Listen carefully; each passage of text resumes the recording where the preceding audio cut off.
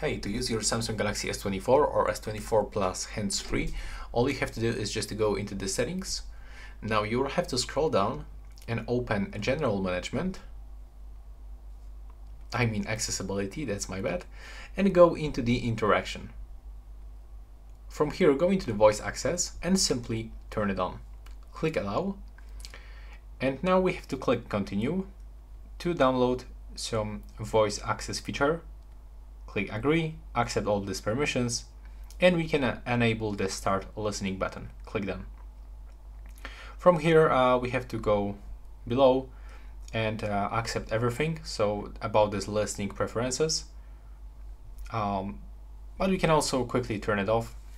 And now if I want to control my phone, I can find some base, um, base commands right here.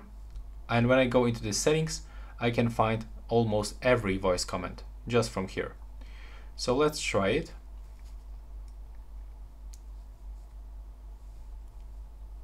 Click continue.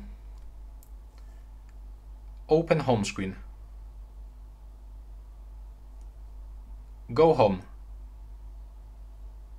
Open Galaxy Store. Open Play Store. Search for Call of Duty Warzone.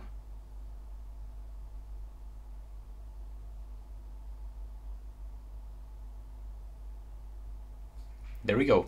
And as you can see that's quite impressive that we can actually use our smartphone with our voice and we don't even have to touch anything. And that's how we can do this. So right now please subscribe to my channel and see you in the next one. And by the way if you want to turn it off just click uh, right here. And now as you can see it's not activated. So that's all. Please subscribe to my channel